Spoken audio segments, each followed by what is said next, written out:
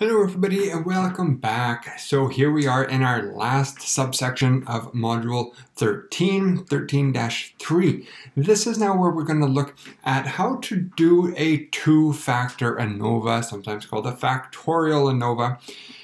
This one is a little bit different, but overall it's very, very similar to the other ANOVAs that we've done. We're just expanding on what we started in the first subsection, uh, module 13-1. So it's still an analysis of variance. We are still taking our data set and treating it as one. Treating it as one sample comes from one distribution, and we account for different sources of variation. And then we use those different sources of variation. We, we divide them by their degrees of freedom to get these different estimates of population standard deviation sigma. And we do these upper tail F tests to see whether or not we have evidence to support the alternative. And the alternative, of course, is that at least one of these means are different. Now, where the factorial expands on that is that thus far, what we have looked at, so if we go back to the completely randomized design, we had the total variation that existed in our data set. We accounted for two sources of variation. That which was due to any differences across treatments, and that which was just random noise. And so there we had SSTR, we divided by degrees of freedom, that gave us MSTR, and then we had MSE, that was our upper tail F test, right? We were testing to see whether or not MSTR was an inflated estimate of the variance, because what would make it inflated? If the alternative was true, and those sample means were sufficiently far apart, that would make MSTR inflated. That would give evidence in that upper tail F test to reject the null hypothesis that at least one of those samples were different. Then we expanded and we then took into account this additional source of variation, sum of squares due to blocks, due to heterogeneity or differences across our experimental unit. That was sort of, again, the extension, like we did in Module 10 when we went from two independent samples to the match sample. Well, the completely randomized was three or four or five or 10 independent samples. And then we moved into the randomized block, and that was the equivalent, the multi-population equivalent to the match sample, where we had multiple data points for each experimental unit. Well, now we take this a step further. Now we are going to account for the possibility of having two factors of investigation, two variables of investigation, and within each of those variables, we'll have multiple treatments. So now we'll have one factor, we'll call it factor A, whatever is that first variable of investigation, and it is going to have some treatments within it. So we'll be doing a test to see if we have evidence to show that there's difference across treatments in whatever factor A is. And I'll give it some context here when we get into this problem. And then we'll have some treatments across a second factor. And so we'll be here now doing a second test. So now we have two sets of hypotheses. One to determine if there's a difference between treatments and factor A. The second test, again, another upper tail F test for all the same reasons that we've talked about before, to see whether or not we have evidence to show that there's a difference across treatments and factor B. A third test to see whether or not there's interaction, meaning different combinations of treatments are statistically different from one another. And I'll talk more about what that means when we go through this example. And finally, random noise. So here we're going to have three tests. One on factor A, one on factor B, treatments in factor A, treatments in factor B, and interaction. So three nulls, three alternatives. Our ANOVA table is going to look very familiar, but it's going to be a little bit larger. So let's get into this practice problem. This is probably going to be a little bit of a longer video because there's a few more steps in this exercise, but you'll notice the calculations are similar except for one. There's one that's a little bit different. Okay, let's get into this. The local animal rescue shelter is interested in knowing if there's a significant difference in the number of animal adoptions between its three largest shelters during its busiest weekend of the year. It is also interested in knowing if there is a difference between the number of cats and dogs adopted as well. The following data shows the number of each animal adopted at each of the three shelters over the long weekend. So here we have our two variables, our factor A and our factor B. So here when we're looking at SSA and SSB. So it doesn't matter which one we define as which. I'll, I'll call our shelter, I'll say this is going to be our factor A so that's that first variable of, of investigation. And within that factor, we say I have lowercase a equals 3 treatments. So in previous ANOVAs, we used the symbol, the letter K, for the number of treatments. Now we have factor capital A. The number of treatments in factor capital A is lowercase a. So A equals 3. And then here, we have a second factor, and that's the type of pet, dog or cat. And as I just said, dog or cat, well, those are our two treatments in factor B. So I'm going to use lowercase, oops, lowercase 2. Uh, lowercase b equals two treatments in factor B. Okay, so there's our two factors. We have factor A, factor B. We have so many treatments in A, so many treatments in B. I'm really using a minimal number of treatments, three and two, but we could have many, many, many treatments in both of those factors. I'm just using a small number of treatments, again, just to keep the calculations as simple as possible. They'll still be tedious, but as simple as we can possibly make them. Now, this issue of interaction well, here I can see for dogs. So that's that one type of pet. Well, I have dogs in shelter A, dogs in shelter B, dogs in shelter C. I also can see I have cats in shelter A, B, and C. So when I talk about treatment combinations, and when we talk about whether or not we have evidence to show that there's an interaction, meaning maybe the average number of dogs at shelter A is different from the average number of dogs at shelter B compared to the average dogs in shelter C, compared to the average cats in shelter B and C, etc. So we're looking at all of those possible interactions.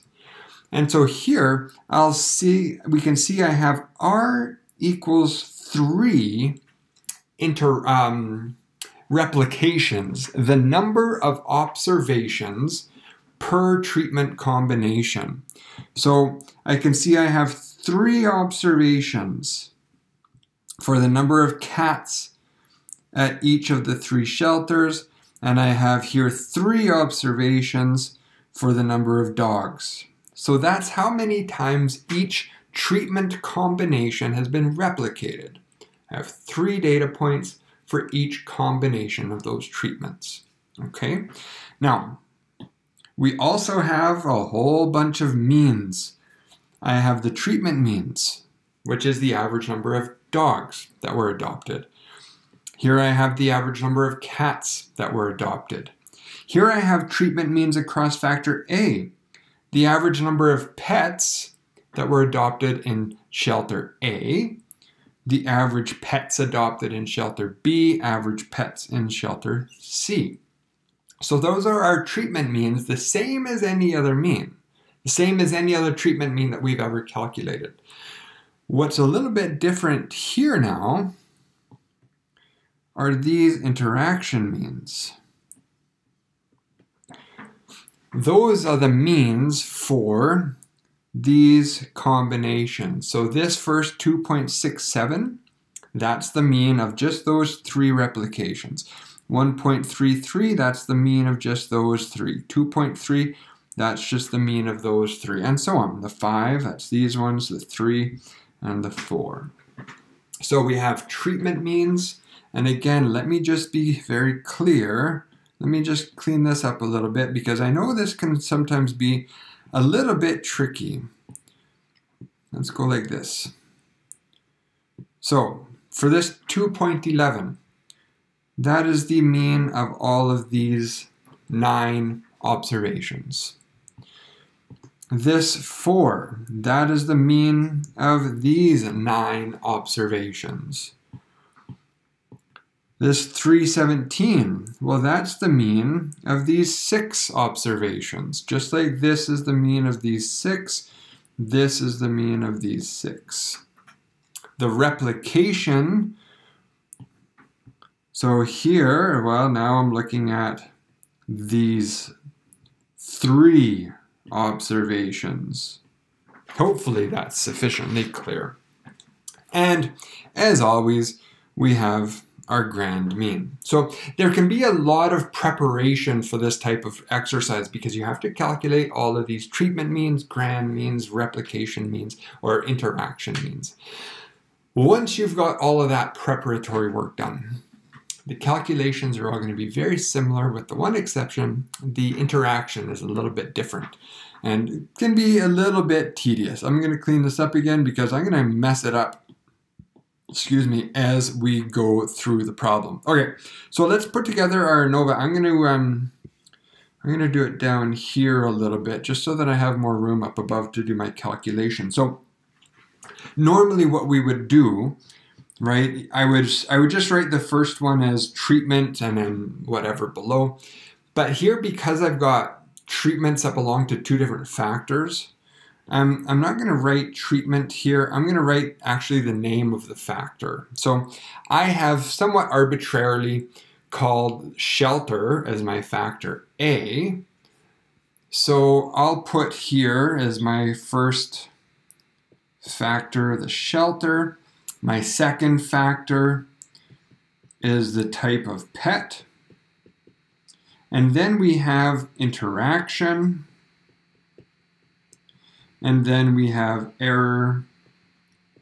And then finally total.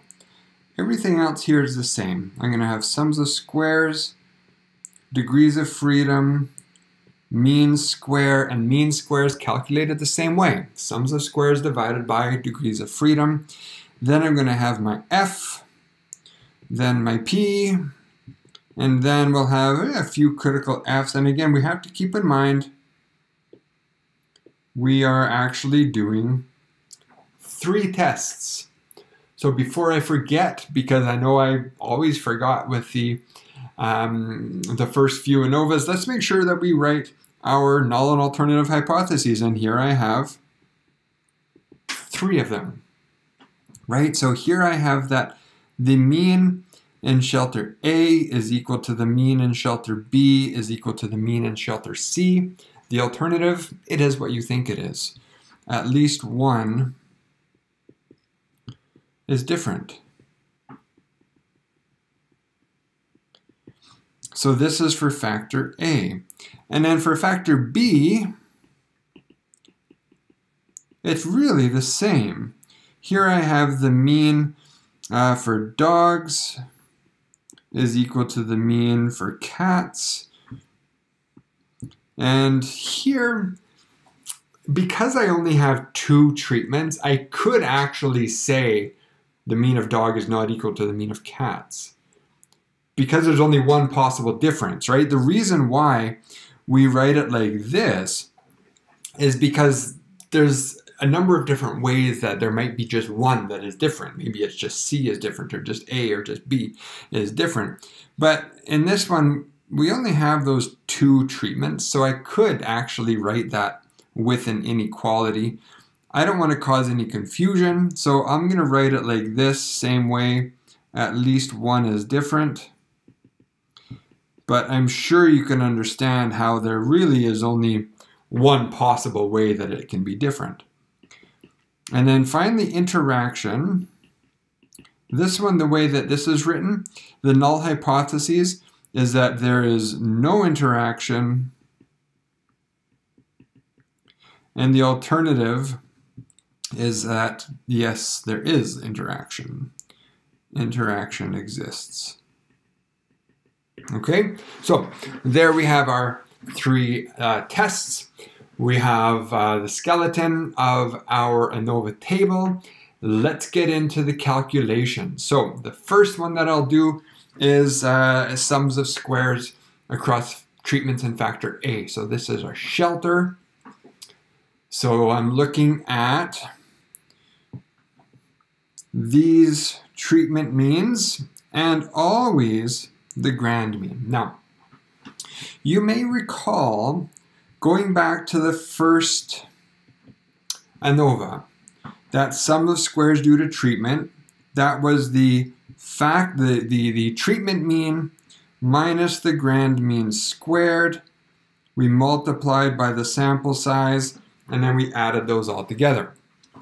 Sample sizes could be different. So that n, that sample size, was inside the summation. And then when we did the randomized block, let me just make this a little bigger. Well, the randomized block, because of the way that experiment was designed, the samples were always going to be the same size. And so the n became a b because we're talking about blocks, and then it moved outside of that summation because it was always going to be the same size. Well, for randomized block, sorry, for factorial, it's really the same, but the notation here changes. So I'm looking at the factor A. How many observations exist in factor A? There exists B times R, number of observations.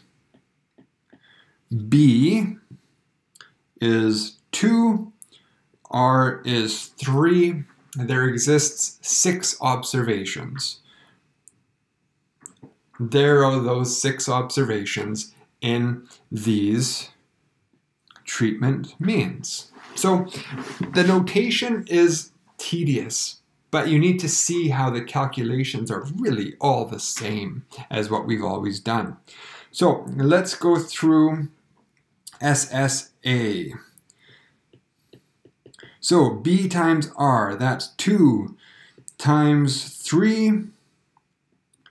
And now I'm looking at our yellow treatment means there, so that's 383 minus 3.06 squared plus 217 minus 306 squared plus 317 306 squared. Okay, so hopefully that's a recognizable calculation. So let's go through. So 3.83 minus 3.06 squared plus 217 minus 3.06 squared plus,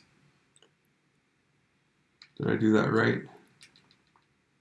Yes, 217, and then the next one is 317 minus 3.06 squared. And then I'm going to multiply that. 2 times 3 is 6. And that gives me 8.38. So here are sums of squares, 8.38 degrees of freedom. It's exactly what you would guess it to be the number of treatments minus 1. I had 3 treatments. 3 minus 1 is 2. The mean square, I'm just dividing those. Same as always. So I'm going to divide that by 2, and that gives me 4.19. Good. Next one is type of pet. So now that's SSB. SSB so again, here we're looking at those differences between those sample means, so the means of treatments in factor B, So the, oops, these treatment means here and here. Let me just clean this up. And of course our grand mean. So that's going to be those differences squared. We're going to add those up across factors, uh, treatments and factor B. And then what do you think we're going to multiply by? We're going to multiply by the number of observations in each of those treatment means. Now I can just look at that and I can see that it's 9. What does the formula say? The formula is going to be A times R. I have A is 3 times R is 3, 9 observations. Okay, so let's go through that calculation. So I have 2.11 is my first, whoops. So this is 3 times 3, 2.11 minus that same grand mean. And then the next one is 4.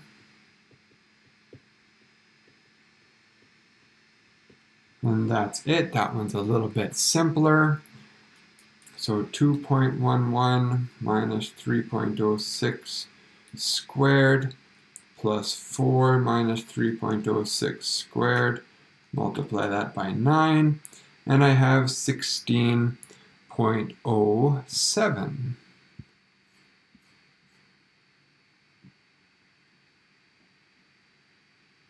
Uh, 08 if I round it. Degrees of freedom, just what you think, B minus 1.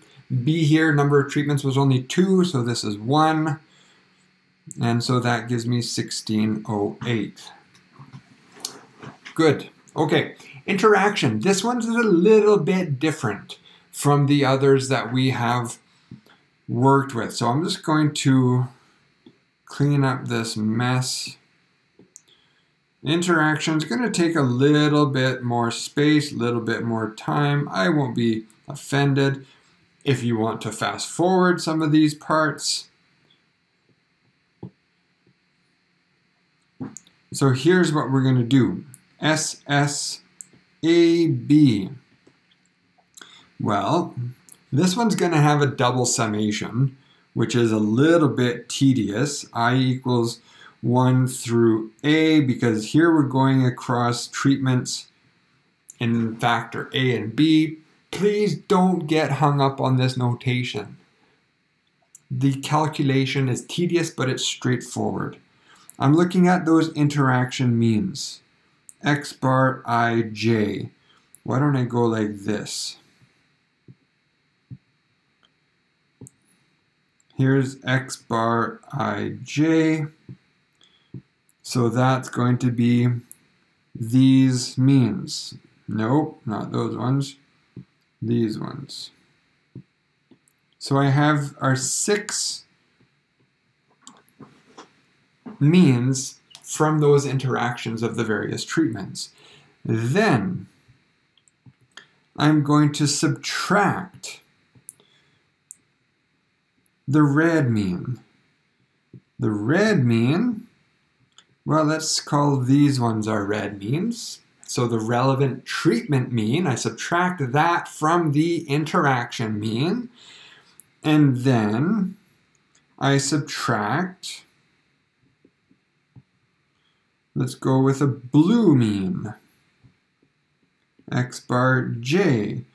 And so those blue means, I'm going to subtract off those means, and then I'm going to add, not subtract, I'm going to add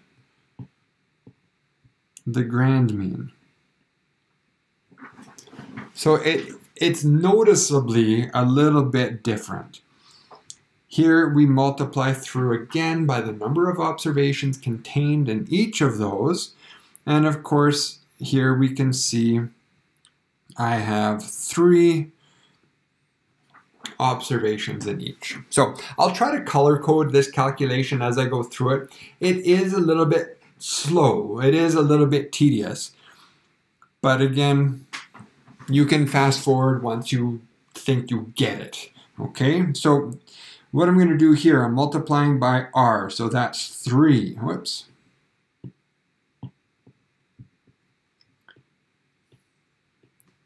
Now, I have our purple mean, so that's 2.67.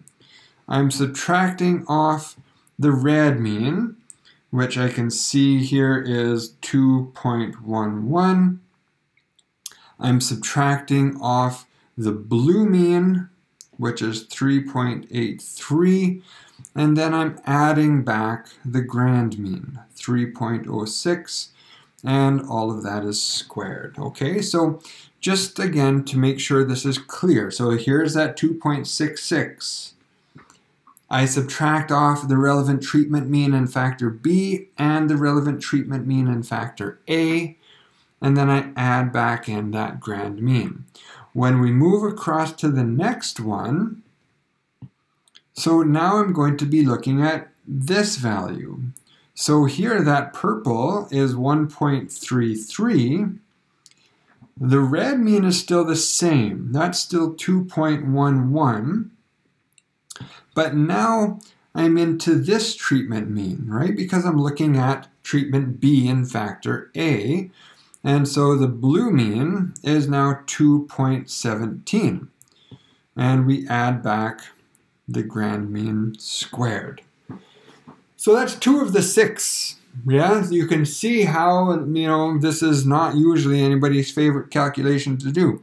The next one, now we're at 2.33. So here we'll come down to the next line. For our purple is 2.33. Now my red mean hasn't changed yet. That's still the 2.11. I'm still in that dog, still in treatment uh, A of factor B. The blue mean has changed. Now I'm over here, 317. And the grand mean never changes. Okay, so that's the first row. So now we have done these three interaction means. Now I'm going to come down to the next one. So I'm at, in my purple, here I'm at number 5.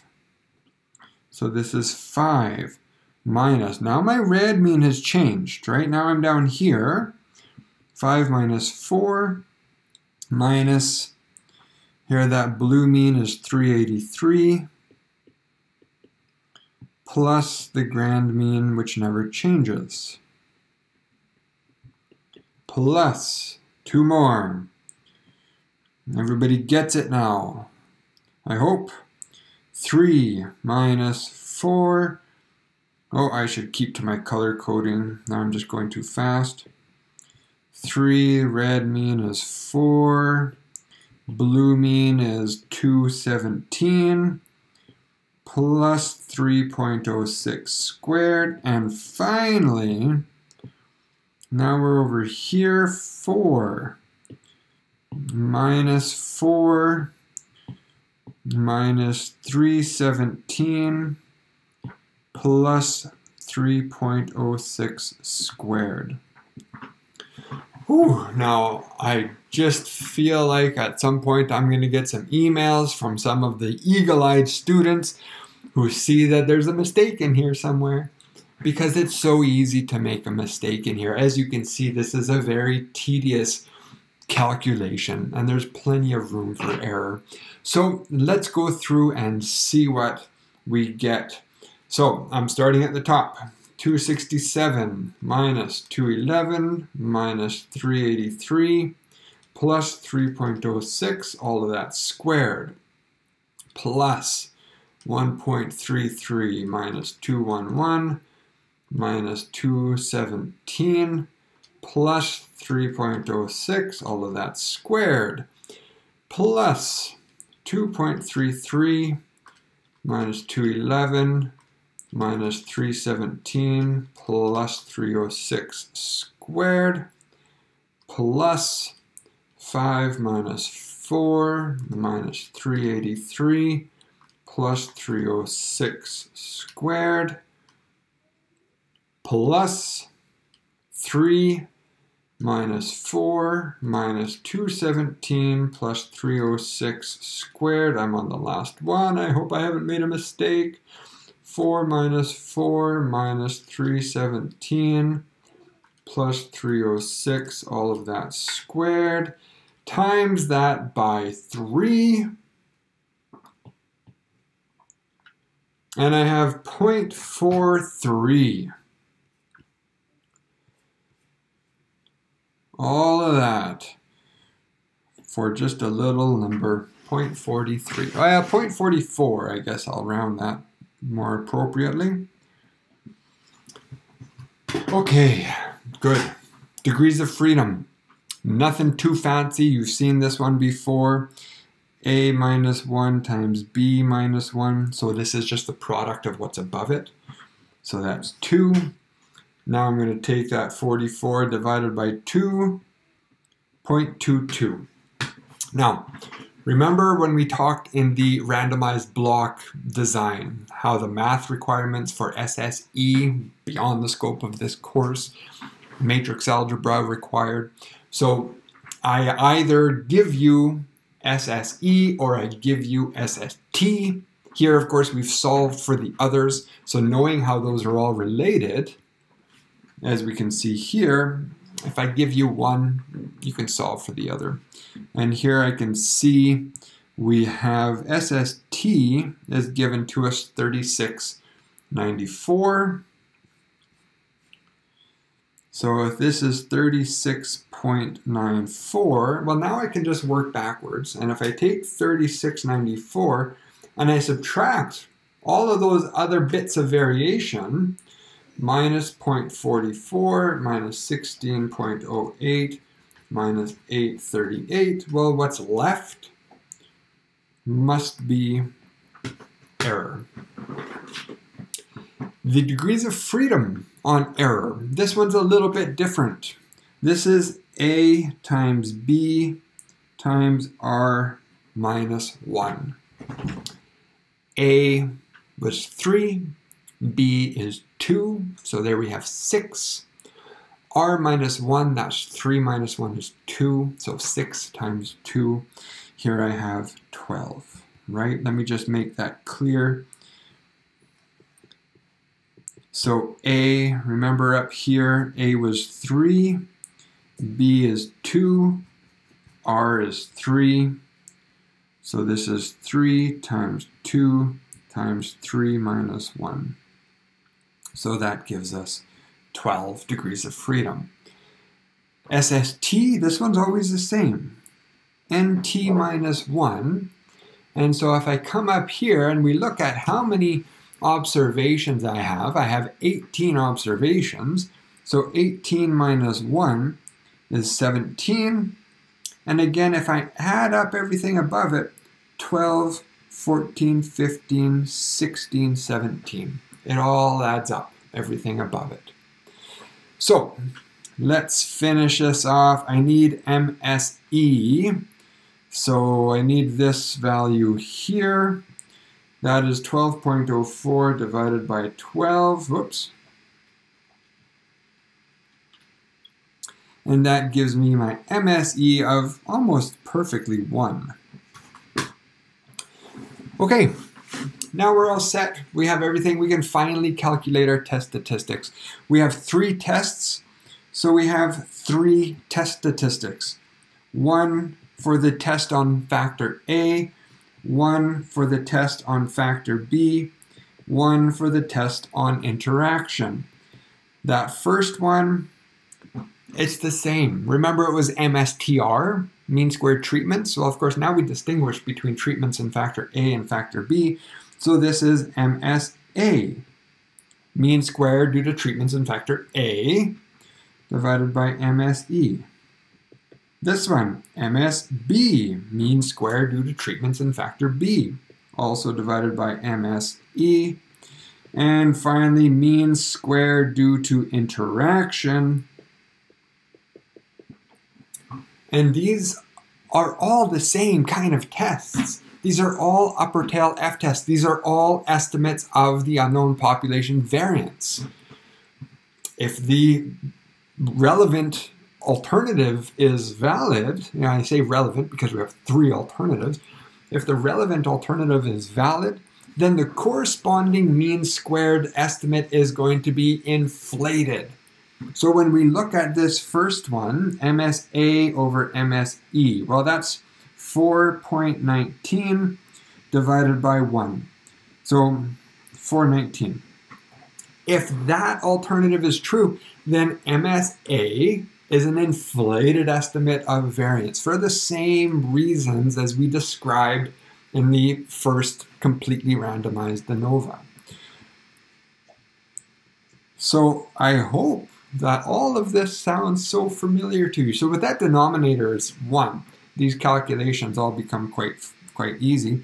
This is going to be 1608 interaction 0.22. I probably I have some rounding error in here. That's perfectly all right. Okay, let's, uh, we don't have a level of significance here, so we'll do these at the 05 level of significance. Now, it's important to note that these tests might all come from a different distribution because they, they, they can have different degrees of freedom. The denominator degrees of freedom is always the same because MSE, MSE, MSE, it's always the same in the denominator. But the numerator degrees of freedom can be different depending on the number of treatments in each of those factors. So let's do shelter first. Shelter, I have two numerator degrees of freedom. And again, all of them are 12. So 2 numerator, 12 denominator degrees of freedom. So here's 2 numerator, 12 denominator degrees of freedom. Here are my relevant values. If I'm going to pull out a critical value at 05, well, that's going to be 3.885. So here I have that critical is 3.885. If I want the p-value, so there my test statistic is 419. So my p-value there, this is so small, let me keep that clean. My p-value, well my test statistic is in between. So my p-value is going to be between 0.025 and 0.05. So it's less than 0.05, greater than 0.025. Let's hold off on our conclusion until we finish these up. Type of PET, one degree of freedom in the numerator, and still 12 in the denominator. So I come down here. Here I have 1 in the numerator, 12 in the denominator. So here are my relevant values. Well, certainly my test statistic there was 16. So it's just off the charts. Right here, my test, my, my critical value is 4.75. My test statistic is, is larger than that largest value, right? So it's way out in the extreme of that distribution. So my p-value is something much less than 0.01. So here's my critical value for that test was 475. My p-value is something much less than 0.01. Interaction, now I'm back to 2 degrees of freedom in the numerator, still 12 in the denominator. So 2 and 12. So that critical value is going to be the same, 3.885. Our test statistic, 0.22, that test statistic is tiny. It's smaller than the smallest, which means the p-value is larger than the largest. So I have that critical value 3885. My p-value here is larger than 0.1. Okay, Sorry this was such a long video. There's a lot to these, uh, no, uh, these factorials. So here we have all of our results. we have sufficient evidence to reject the null hypotheses on factor A, which means we have we do have evidence to show that there is a difference in the average number of adopted animals between these three shelters. Which one? Well, go do a Fisher's LSD and find out which one or which ones are different. All I'm going to worry about here is that we have evidence to show at least one of them is different. If we look at the next one, the type of pet, well, that p-value is also less than our level of significance, just as that one was. So here we reject. We have sufficient evidence to show that there is a difference, a statistically significant difference in the average number of uh, cats versus dogs. And so again, there's only that one possible pair, so I know that the average number of cats and the average number of dogs are different. I don't need to do a Fisher's LSD there because there's only two treatments. If we had multiple treatments, well then maybe we'd want to do a Fisher's LSD there as well to find out where the difference exists. Finally, on interaction, our p-value there is quite large. So we lack evidence. We are unable to say that there are any specific combinations of type of pet and shelter that are statistically different from the others. Okay, that's it. I hope that this was helpful, albeit long. i am so pleased if you guys get through these long videos. Hopefully that was helpful. The next videos um, for these problems in uh, the factorial ANOVA will keep them a little bit shorter. Less talking, more writing, more doing. Okay guys, thank you all so much for watching. I hope this was helpful. Bye bye.